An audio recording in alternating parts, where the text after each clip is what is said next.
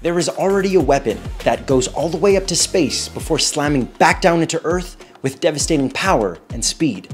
A weapon that has America racing to keep up with Russia and China the hypersonic missile.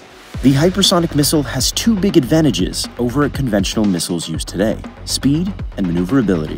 Hypersonic means anything moving faster than five times the speed of sound, and they can also change course quickly thanks to steering fins on the hypersonic glide vehicle that guides it to its intended target.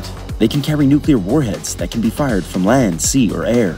They can even circle the globe in low orbit space, which means they could also potentially be used against satellites. Russia and China have varying forms of operational hypersonic missiles today. The US is ramping up its testing and development to catch up. But as the race for dominance in space heats up, there's little doubt we'll be hearing more about hypersonic technology in the near future. Here's hoping cooler heads can put all that technology to more peaceful purposes.